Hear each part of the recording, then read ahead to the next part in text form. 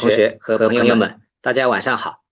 非常感谢美国动物蛋白和油脂协会的李鹏博士的邀请，以及水产前沿工作人员的前期工作准备，能够让我有这样这样一个机会呢，跟大家做一个交流。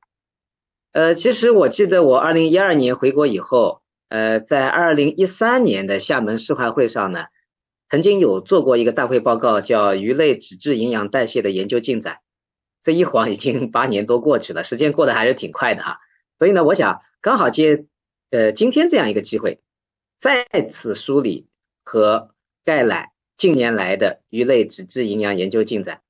那么，其实我想大家也都看得到，呃，在这八年里，在我们国家各部委，包括基金委啊，很多的这个项目，尤其是我们麦院士领导和策划的像九七三啊、蓝色粮仓等下大项目的一些支持下，我们中国的水产营养。包括脂质营养研究都得到了非常迅猛的发展，所以呢，我记得我八年前啊那个报告里头，大部分的材料其实是来自于国外，但是呢，在今天的讲座里，大家过会儿就会看到，其实全部的材料都来自于我们国内的水产营养学者，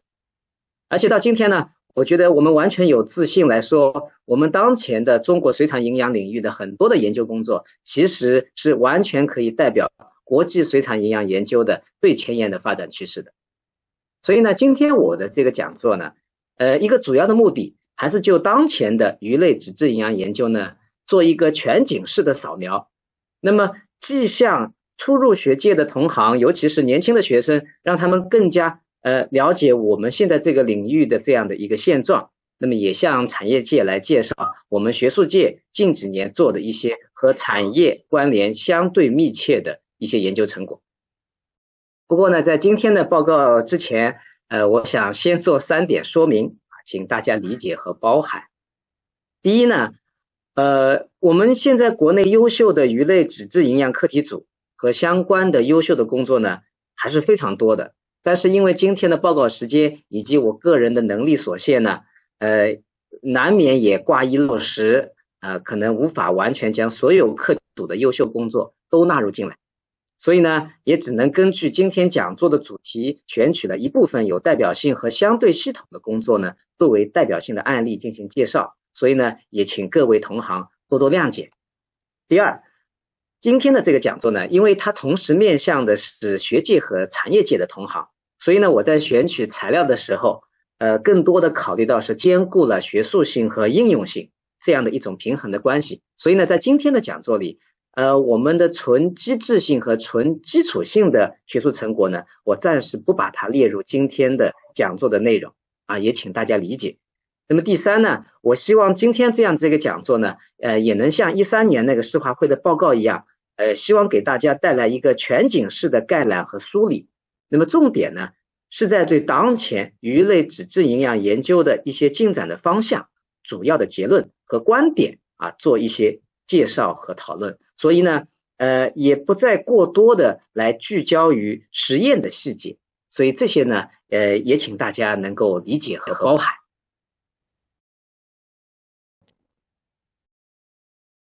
好的，嗯，谢谢杜老老师的介绍哈。那杜老师，您刚刚谈到了您呃一三年在寿华会上关于纸质的一个介绍的报告，实际上非常的巧，呃，在昨天我在重庆的小工业。呃，博览会上面的时候也遇到了一个啊，在一三年曾经听过您报告的一位我们的同行，那他也啊谈到了对于您一三年那场报告的那个印象，至今为止还记忆犹新，也是非常啊感谢您对于呃在上一次做的那个分报告的分享，那他对于您今天今天的这个报告呢，也是同样充满了期待。那呃。我相信我们直播间很多朋友对杜老师啊已经有一些也非常的了解，但是我还是想借这个机会啊，跟大家再隆重的介绍一下我们杜振宇教授。那杜振宇教授呢是零二零零五年获得了中山大学和法国勃艮第大学的双博士学位。那之后呢，在呃勃艮第大学从事博士后年研究。二零零七年和二零到一二零一二年任挪威国家营养和海洋食品研究所的 Senior Scientist。然后，二零一二年起担任华东师范大学生命科学院的教授。那先后入选教育部新世纪优秀人才支持、上海高层次人才特聘专家、上海市青年优秀学术带头人。呃，目前主要承担水产动物营养、生理和水产品安全方向的科研和教学。那尤其是在脂质营养、生理领域呢，具有丰富的研究积累经和经验。那也是国家啊首批国家一级本科课程和国家级精品公开课程的负责人。那最近呢，杜老师在国内外知名期刊发表论文百余篇，百余篇，主持国家自然。呃，自然基金重点项目啊，呃，国家重点研发计划项目课题多项。那现在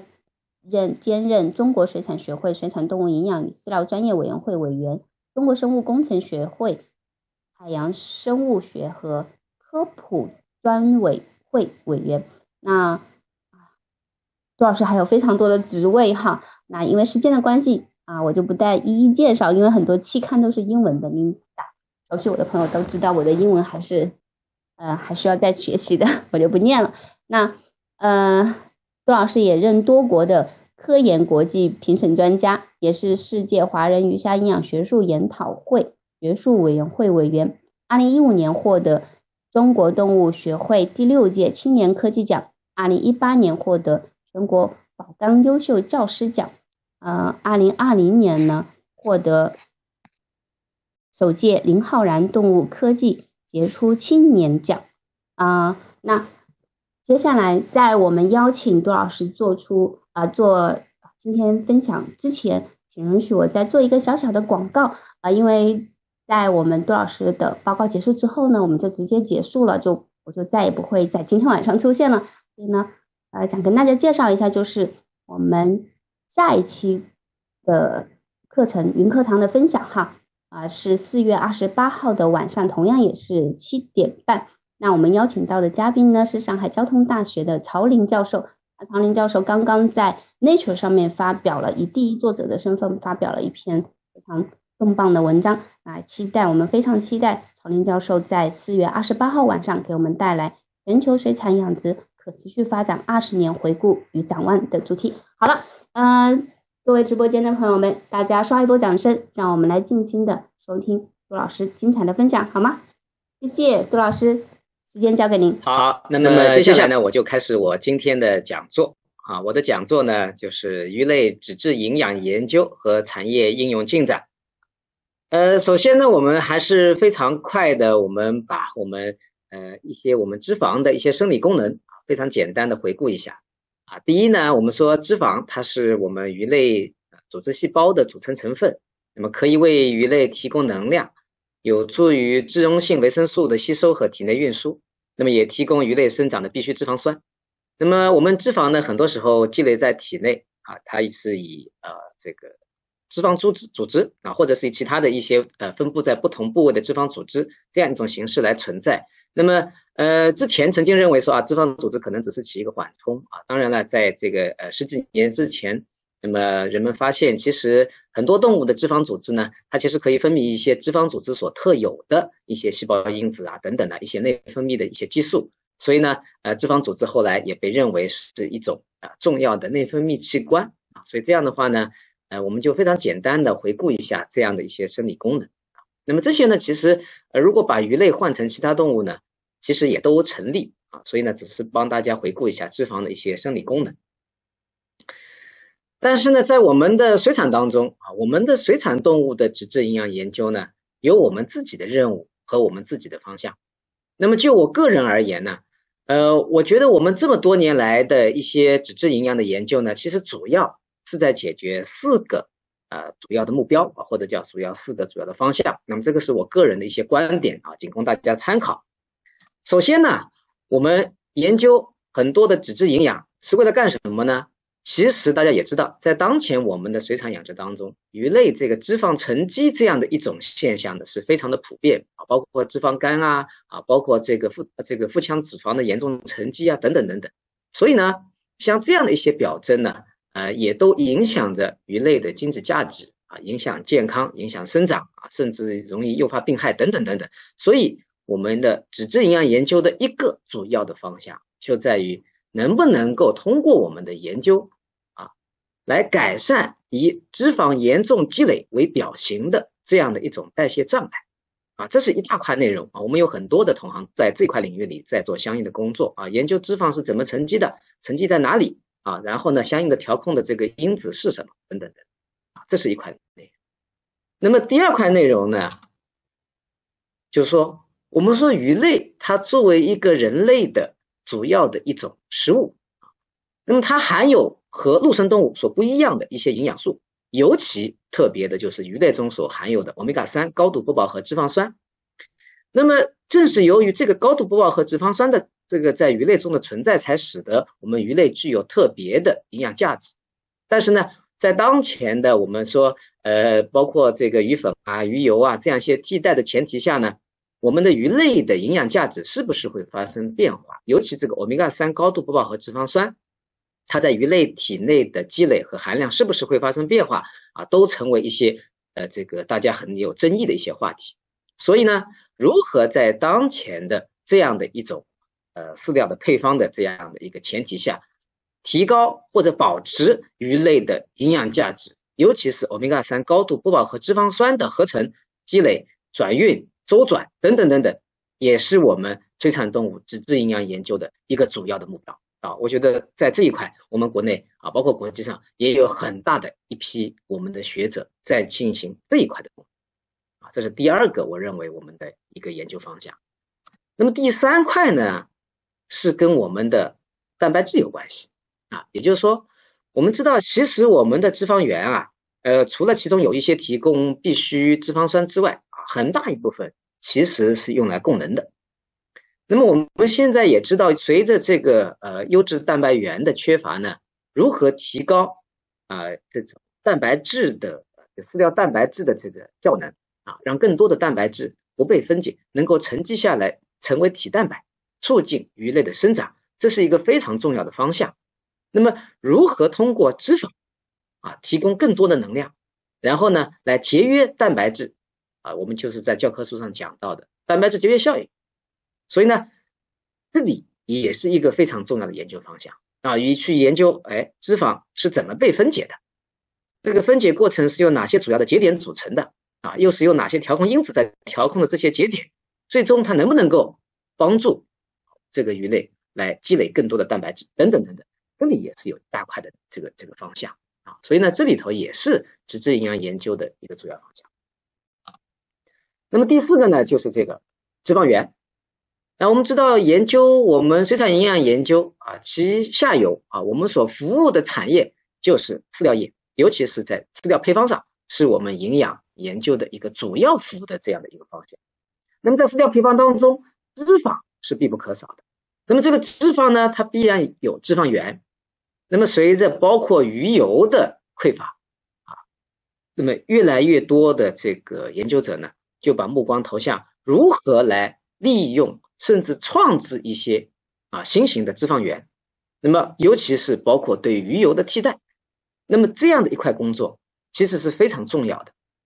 但是这里头也包含了很多研究的课题啊，比如说什么样的油源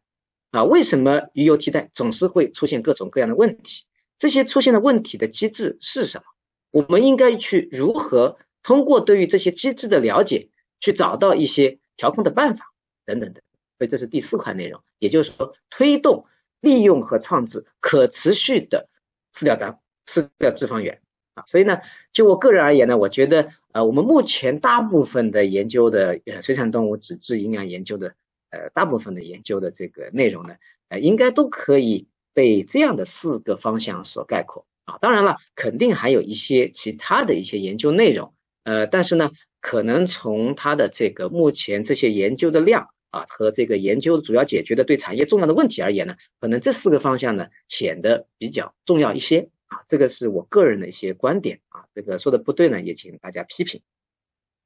所以这样的话呢，呃，我今天这个报告呢，就从刚才讲的四方面来展开啊，先讲鱼类脂肪的积累啊，然后讲脂肪酸的合成和沉积，然后来讲脂肪分解的功能，以及讲饲料脂肪源研究，以及我们。这几年啊，我们的这个研究人员和产业界结合，呃，我们做一些呃调控因子啊，其实有一些就已经是饲料添加剂。这些调控因子对于上述的这四个方面的调控功能呃调控的一些结果啊，跟大家做一些分享。所以呢，这是今天大概的这样的一个纲要。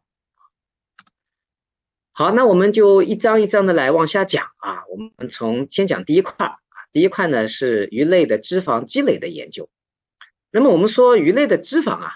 呃，沉积在哪里呢？我们刚才已经在讲研究方向的时候，其实讲过，当前鱼类的脂肪的严重积累是一个蛮大的问题啊，不仅影响生长，也影响品质。那么它到底脂肪沉积在哪里呢？其实从我们产业界来看啊，那么其实我也在这个。呃，做这个讲座之前呢，我也请教了一些产业界的朋友啊，那么大家都非常一致的说，哎，说谁现在养殖当中或者说水产呃饲料的这个企业，它有什么问题特别想解决的？从脂肪沉积的角度，那么很多的企业界的我们的朋友都异口同声说，脂肪肝喽，那就解决脂肪肝的问题喽，对吧？所以呢，这里头也就是说，肝脏的脂肪积累啊，一直是我们产业界和我们学界都非常关心的问题啊，这是一个。第二个呢，脂肪它可能啊，在有些鱼当中，它更多的它可能不是在积累在肝里头，它积累在腹腔里头啊，积累在这个其他的一些部位啊，形成脂肪组织。那么这个脂肪组织，如果说脂肪积累过多，它就会膨大，会扩增，那么影响我们整条鱼的这个体型。从某种程度上来讲，啊，就类似于我们这个人类肥胖的这个大肚子啊。那么这一点呢，其实也非常的重要啊，所以呢，我想今天我讲脂肪沉积呢，啊，我主要从肝脏和脂肪组织两个方面来讲。那么先讲这个肝脏啊，我们讲肝脏呢，我们刚才已经讲到，我们的产业界和学界都很关心这个脂肪肝的问题。那么其实脂肪肝呢，其实我之前也在呃有几次这个会议呢，我也曾经做过脂肪肝的报告。那么有一些比较老的内容呢，我今天就不讲了。呃，但是呢，我想一些重要的内容还是要跟大家做一些分享，因为毕竟今天呢，可能听的人数，呃，嗯，或许比我之前所有的会议的听的人数加起来都要都要多啊。所以呢，我们先来讲这个鱼类的这个肝脏的这个脂肪的时候呢，我们先来看这样的一张，呃，这样的一张表啊，这样的这个是我我我自己来做的啊，自己做的。呃，我们可以从这张这个图当中呢，我们来看到，呃，很多的鱼啊，它的肝脏脂肪的这个含量。肝脏这个脂肪含量呢，你会发现很有意思的。其实不同的鱼啊，它有不同的这个肝脏脂肪的含量差别，还是非常大的。啊，有些鱼呢，它的这个肝脏它的这个脂肪含量非常的高啊。你比如说像河豚啊，它可以达到百分之五十左右。那么在海水鱼当中，这个鳕鱼呢，也达到百分之五十八左右啊。包括像菌巢，它的肝脏的脂肪含量也是非常高的。那么当然，有些脂这个鱼的脂肪含量就比较低啊，比如说乌利啊，你说像一般我我们的这个草鱼啊、青鱼啊、鲈鱼啊等等等等啊。那么，所以我们从这张表当中可以看出呢，不同的鱼啊，它的肝脏脂肪含量天差地别。当然了，大家说，哎，这个数据是怎么来的？那么这个呢，也是我和我的学生们呢一起来把很多年下来呃做的一些呃研究论文当中的数据呢拿出来。呃，我们也知道有些论文当中不同的组呢，它的肝脏脂肪含量会有蛮大的差别啊。呃，但是从我们的这里取的呢，基本上是一个平均值啊，就是我们很多研究论文当中的相关的平均值，所以呢，只能代表一个大概的一个一个范围啊，并不是能说非常的精确，至少，但是它可以看出一个相对的含量的这个差异。那么我展现这样一张图的目的是什么？只是告诉大家说，其实鱼类的肝脏脂肪。并不是说只要它积累多了，它就一定有病，这就是我刚才讲的啊，不是所有的脂肪肝它都是病，有些鱼它就是天生的脂肪肝。那么像这一类这样一类天生的把脂肪放在肝里头的鱼类，我们要引起重视。也就是说，这些鱼它天然的肝脏脂肪就很高，所以呢，不能说看到这种鱼一看打开腹腔一看，说肝脏里头很多的油脂。然后就说啊，脂肪肝非常的严重，它可能本来就这么，所以呢，更多的要对那些天然的肝脏里头脂肪不高的鱼类，这些鱼类啊，可能要更加引起我们，这个是一个一个很重要的一个一个观点啊，就不是所有的脂肪肝它都是病，所以从我个人来讲，脂肪肝本身应当是一个中性的词啊，只有脂肪肝病才是我们应该重视的病症。那么同时，我又总结了另外的一张表啊，这张表这张表呢是这个鱼类的肌肉脂肪含量啊，这也是我和同学们一起来总结的，也是一样的。我们通过很多文献当中，从肌肉的脂肪的这个含量这些数据做一个统计，然后呢，主要是取很多文章当中的平均值，所以呢，呃，不能说数据很很确实，但是呢，嗯，至少能够反映一个相对的趋势。然后呢，你会看到肌肉当中也一样。有些鱼呢，它的肌肉脂肪含量就非常高啊，比如说淡水鱼当中，鳗鱼啊，我们吃鳗鱼是不是觉得这个口感比较这个这个肥腻啊？三文鱼，我们说三文鱼当中，包括这个呃这个红鳟啊，一些一些鳟也是，那么它的这个呃肌肉当中红一块白一块，那白一块就是它的肌间的脂肪组织，所以这样的话呢，它的肌肉当中脂肪含量是比较高的啊。国产还有我们老新创生啊，就是金仓啊，也是这个肌肉的脂肪含量也是非常高的。那么，如果我们把这个脂肪的在肝脏和肌肉当中这两张图，我们把它合一块，好，我们把它合在一起，然后我们会发现一个很有意思的一个现象啊，就是你会看到这些鱼呢，经常是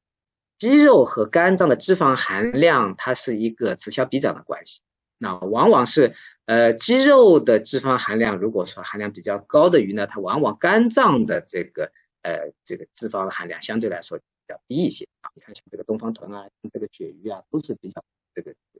比较呃肌肉脂肪含量啊，肝脏脂肪含量比较高啊，肌肉脂肪含量比较低。那反过来呢，你看三文鱼，它的这个呃肌肉脂肪比较高，那么它的肝脏脂肪相对来说会比较低啊，也就是说鱼类不同的鱼类呢，它对于积累脂肪有它自然的一些属性啊，跟它的物种是有关系的。所以在这一点上，我们在判断脂肪肝的时候，其实一定要和鱼种相关联。抛开鱼种谈脂肪肝，某种程度上可能会呃造成一点一些误解啊，走入一些误区啊。那么事实上，我们来谈这个脂肪肝呢，我在二零一四年呃在《水产学报》五十周年特刊的时候呢，曾经写过一篇特邀的综述啊，就是讲呃鱼类养殖鱼类脂肪肝的成因和一些相关的思考。那么提出了一个模型啊，也就是说鱼类脂肪肝的发生发展的这样一个模型。那么这个模型它主要的描述的一个什么样的进程呢？其实它主要是在描述一个，比如说肝脏啊，那么由于长期的能量摄入过高，比如说高脂高糖饲料的长期投喂，就会造成啊这个脂肪组织的细胞扩增啊，包括整体的这个呃血浆当中的游离酸的游离脂肪酸含量上升，然后呢进入肝脏以后，那么它慢慢慢慢的积累下来啊，就合成甘油三酯，然后就慢慢的积累下来，呃在肝脏当中积累起来。那么事实上，在这个过程当中，尤其在这个肝脏脂肪积累的前期，它其实是鱼类为了应对能量过多而采取的一种生理性的对策。在这个时候，你不能说它是有病啊，呃，它只是一种生理性的一种一种积累而已啊。如果在这个时候，如果说加以控制或者体检发现的话呢，其实它是可以慢慢再把这个脂肪再给它消耗掉。那么只有当这个过程，啊，持续不断的没有办法来缓解，那么这个时候我们就是说，长期的高含量的游离脂肪酸，那不管是在组织还是在血液当中的长时间的存在，就会造成一个制毒性。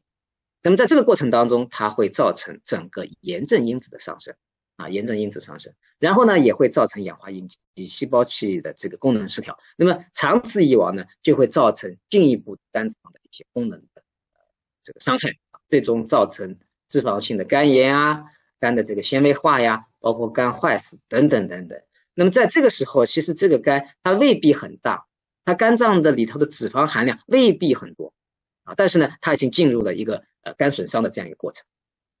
那么其实我们还有很多的一些因子啊，这里头我只是列出了几个几个呃代表性的这个因子而已。当然，其实还有很多因子都可以从这个地方往里加啊，有些因子。它本身，你比如说氧化鱼油啊、环境污染物啊、饲料毒素啊等等等等，它本来就可以造成氧化应激，造成细胞器功能失调，造成肝细胞的死亡啊，直接就会造成这样一个单损伤的后果。而我们炎症因子的上升，我们有很多的因素其实都可以造成炎症，包括病害啊，这就是为什么其实呃鱼类的健康很重要啊，因为它的这个呃往往会归结到炎症因子的变化。那么炎症因子的上升呢，它也会。进一步的促进这样一个过程啊，这是我在二零一四年提出的这样一个模型。那么这个模型呢，应该说，呃，现在也得到了我们学界和产业界的很多的呃老师和朋友的认可。那么在我也知道很多老师在讲课的时候呢，也在用这个模型。那么也很高兴的告诉大家呢，就是说，呃，这个模型呢，经过嗯这个国际同行的讨论以后呢，在我们即将出版的这个 Fish Nutrition 第四版，大家知道这个 Fish Nutrition 这是我们鱼类营养界的呃非常权威的这本这本 教科书了啊。那么呃从一九七二年出第一版，那么现在已经马上这个到第四版了。那么这个第四版当中呢，已经把这个模型呢呃纳入进去啊，成为我们。呃，教科书的国际教科书的一部分，那么这也代表了我们国际学界对于这样一个模型的认可。那么从这样一个模型出发，其实我也曾经提过一些这个对鱼类脂肪肝病啊研究和防治的一些建议。那么在今天，因为可能还有很多同学和很多同行，呃，可能对这块内容还没有听过，所以呢，我在这样一个呃场合呢，也再次提一下啊，那么供大家参考。那么前面的三点，前面是红点啊，这个呢是供我们学界的呃这个同行我们要做的一些事情啊。那么这里头我把这个病啊加加红啊加红，那么意思就是说，其实从概念上来讲啊，脂肪肝和脂肪肝病啊，在它的概念的呃澄清上其实是还是有所区别的啊。但是呢，我们在研究过程当中，这两个呢有时候也很难分啊，所以呢，研究的方法还是比较类似的。那这样的话呢，我就提，呃，对于我们学界同行来讲，有三点啊。第一个，开展对不同养殖鱼类不同类型脂肪肝或者脂肪肝病的脂肪积累进程和相应的生理表现的研究啊，确定不同养殖鱼类不同类型脂肪肝病发生的不同阶段的标准。这个呢，其实是非常重要的。我们说到人人去医院里啊做肝功啊干什么呀？那都有标准啊。那么鱼类的标准是什么啊？这是第一。第二，生物标志物的问题，就说什么样的阶段会有什么样的生物标志物，啊，这个工作工作呢，其实是非常重要的，它有助于我们来建立从宏观到微观的生物标志的判断系统。那么通过一些指标的测定呢，或许可以帮助我们来理解这个鱼现在是一个什么样的状况啊。那那么第三呢，也就是说，要从代谢机制的角度入手，知道脂肪肝或者脂肪肝病它发生。在这个过程当中，脂肪沉积分解的各个关键步骤、关键基因、关键蛋白和相应的调控机制，了解这些，或许可以帮助我们既做营养调控，甚至我们为今后的遗传育种来提供一些完整而基础的数据。啊，这是我们学界要做的一些工作。那么从产业界来讲呢，勤于观察诊断，尽可能的掌握养殖鱼类的脂肪积累的动态。啊，越早发现越好。我们刚才也讲到了，其实在脂肪肝的早期是可以。拯救的啊，因为它只是一个生理性的过程。那么使用营养素相对均衡、符合养殖对象营养要求的高效配合饲料啊，严抓原料和饲料的质量关，避免原料和饲料发生变质。那么呃，探索更合理的养殖技术，避免养殖鱼类在养殖各个环节受到环境和病害的应激，其实就是在缓解氧化应激、缓解这个炎症因子的这个上升。那么最后呢，就开展各类有充分学理依据证明的抗脂肪肝因子。在不同应激条件下，对养殖鱼类脂肪肝或脂肪肝病的预防和缓解效果的实验室研究和产业实践。那么，待会我在报告里头也会提到很多的相关的一些调控因子。那么这里呢，企业可能要跟我们的学界呢，我们要充分的呃这个合作啊，协作啊，一起来了解这些呃抗脂肪肝因子在不同鱼类、不同场合啊、不同的养殖条件下，到底会发挥什么样的功能啊。因为我们的水产养殖实在太复杂了，这个跟陆生动物，包括这个跟医学还是没有办法相提并论啊。因为我们有这么多物种，我们有这么复杂的养殖的这个环境所以必须要做的更加的细致。是一些呃，回到这个脂肪肝这个角度来讲啊，因为我们产业特别关心这一块，那么我就老调重弹啊，这个把之前讲过的一些内容啊，再跟大家做个分享。那么随着刚才我提到的这样一些建议呢，其实有一些工作。啊，有一些工作我们还是要做一些回顾啊。其实刚才我讲到的，呃，鱼类脂肪肝的判断标准的问题，其实早在一九九零年，呃，中山大学的林鼎先生啊，也是非常知名、非常著名的我们呃鱼类营养界的这个前辈啊。林鼎先生就在和毛永庆先生啊、蔡发生老师呢，在中国的呃海洋护照上已经发表了一篇草鱼脂肪肝的判断标准的一个问呃一篇文章。当时就已经很明确提出呢，他认为呃，草鱼的肝脂含量如果超过百分之五，可以诊断为脂肪肝。然后呢，将肝脂含量百分之五到十、十到十五、十五到二十，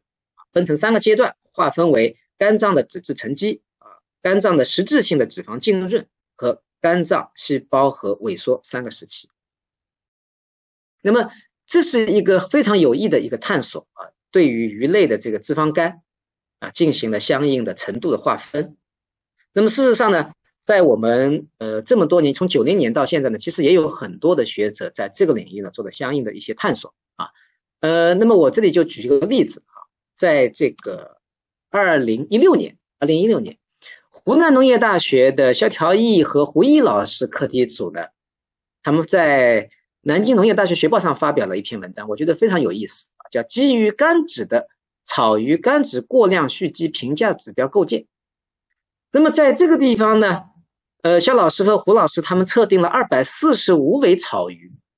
对他们的这个呃进行了大量的生物学指标的测定，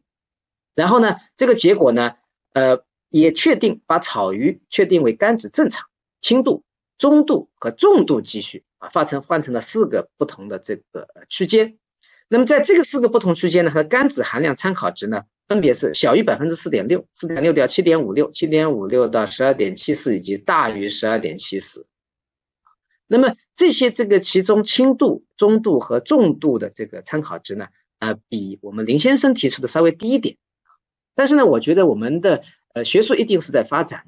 啊，我们才随着我们时代的发展，随着我们养殖现状的变化，那么和我们检测指标的变化啊，像这样的探索，我觉得是非常有益的啊。因为它给产业提供了一些可以在实际生产当中用来应用的这样的一些呃数据标准和这个参考值。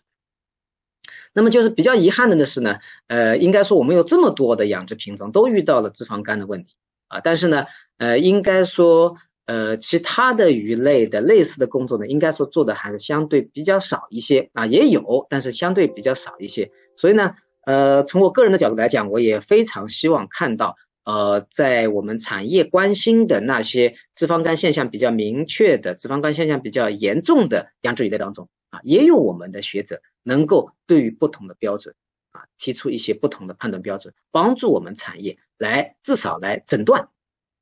是可判断脂肪肝肝的发生程度，啊，所以这是一个一个一块的内容。那么我们刚才讲到这个脂肪肝的一个主要的成因呢，就是这个高能饲料啊，所以这一块呢，其实呃早两年做的比较多啊，其实呢很多的这个理论，很多的结论呢，大家也比较清楚啊，也就说白了，长时间的投喂高脂饲料或者高糖饲料呢，都会造成很多鱼类的肝脏的脂肪的严重积累。那么在这个近几年当中呢，呃，我们其实，呃，南京农业大学的刘文斌老师团队，其实在这一块一直做着非常有益的探索啊。那么最近呢，他们有一些工作，我觉得很有意思啊。呃，虽然有些结论我们跟之前的结论呢也是非常的这个吻合，但是呢，有一些新的观点或者新的指标的测定呢，我觉得是蛮有意思啊。那比如说，他们在这个刘老师团队和这个蒋广胜老师团队呢，在一八一九年啊，他们分别发表了一些文章，对于这个团头坊。我们知道团头法呢，呃，是一个好像对饲料脂肪不是那么耐受的一种鱼类。那么它的这个用百分之十和百分之五这个饲料的脂肪啊来进行对比，然后呢就发现，哎，高脂饲料呢果然可以发导导致这个肝脏的细胞的这个液泡化。然后呢，通过一些有毒物质进行攻毒，然后就会发现呢，这个高脂饲料喂养的这个团头坊啊，它的这个呃存活率就会明显的下降。那么还导致了这个呃肝脏的肝细胞的 DNA 的损伤啊，包括这个炎症因子的高表达。然后呢，特别有意思的是，就是说，呃，可能很多同学，包括我们实验室也一样，做高脂饲料喂